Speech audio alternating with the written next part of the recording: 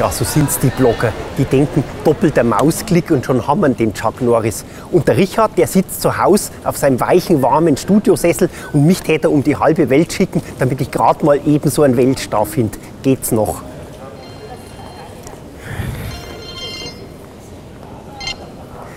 Hasi?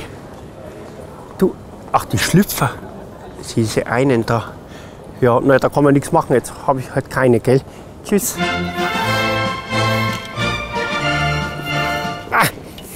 Himmel, Herrgott, Klumpverritzt.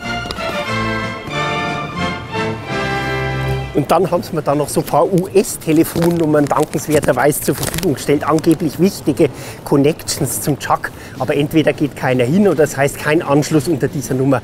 Dank auch recht schön. Oh Gott, der Flieger, der fährt vielleicht gleich. Ich war vielleicht noch nie in Amerika. Naja, wurscht. Chuck, wir kommen.